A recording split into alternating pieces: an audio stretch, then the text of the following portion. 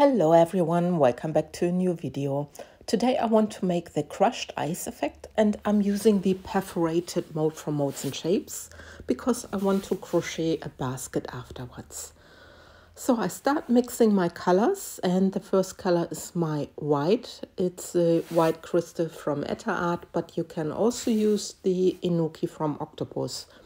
So Etter Art is not available in the US or Canada or Australia, so just use the um, Inuki from Octopus. It also works. They are quite similar. I work with both um, of the whites for the crushed ice effect. So you saw me spurting some of the white into my cup and I'm just stirring it very well.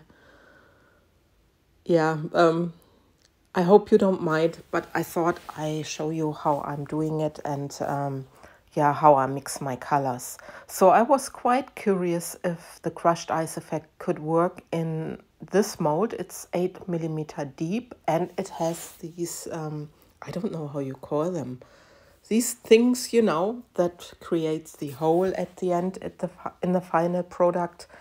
And I think that the resin will work a little bit different than in a normal mold. So my second color is the gray purple this is a resin ink from Etter Art. And you can find a very similar color, I believe, also from Octopus. Just have a look. So anyway, this pour is inspired by Stefania. Um, Stefania, I don't know if you are watching this video, but she was in a chat group and she was wondering if it works. So we both worked on it and this is my version and I thought I just show. So she really inspired me trying the crushed ice effect in this mold. So here I'm just mixing my color.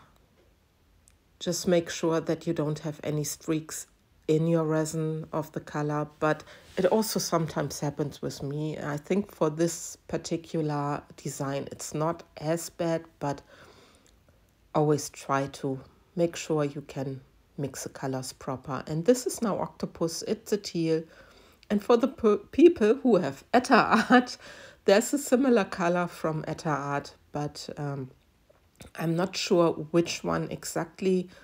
You just need to check. Yeah. So this is the teal from Octopus. I went with a few drops and I'm just mixing this as well.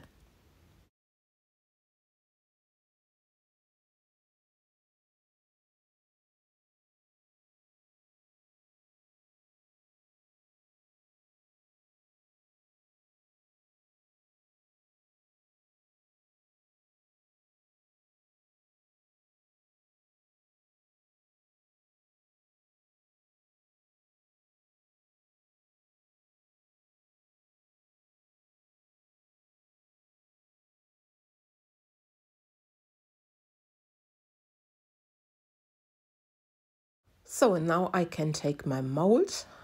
I hope you can see it proper. Yeah, I think it's okay.